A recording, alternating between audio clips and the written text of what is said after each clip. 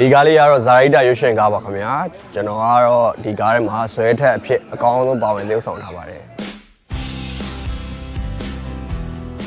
ရဲရရှိတယောက်အနေနဲ့သရုပ်ဆောင်ရတာဆိုတော့ကျွန်တော်တစ်ခါမှမလုပ်ဘူးတဲ့ character လည်းဖြစ်တယ်ဒီဇက်လေးကိုဖတ်တဲ့အချိန်မှာကျွန်တော်ရိုက်ဖို့လည်းစိတ်ဝင်စားတယ်အဲဒါကြောင့်မို့လို့ရိုက်ဖြစ်တာပါဟုတ် drama ရဲ့ action ရဲ့ဟိုအကောင်းဆုံးဦးစားပေးပြီးတော့ပုံဖော်ထားတယ်ဆိုတော့ကျွန်တော်တို့ action ဘိုင်းမှာ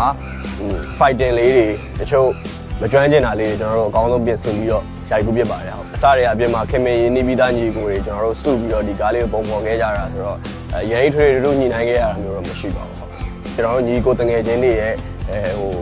ချစ်ချင်းမြတ်တာတွေကိုအကောင်းဆုံးပုံဖော်ထားတယ်ဆိုတော့1500ရော928ကောရတမျိုးစုံခံစားရလိမ့်မယ်လို့ညွှန်လင်းပါတယ်ကျွန်တော်တို့ဒီဇာတ်တိုက်ရွှေရှင်ကားကြီးဟာဒီဇင်ဘာလမှာမြန်မာနိုင်ငံလုံးကိုပြသသွားမှာဖြစ်တဲ့အတွက်ပြည်သက်တွေအားလုံးဒီကားလေးရုံတင်လာရင်အားပေးကြပါဦးလို့ဖိတ်ခေါ်ပါတယ်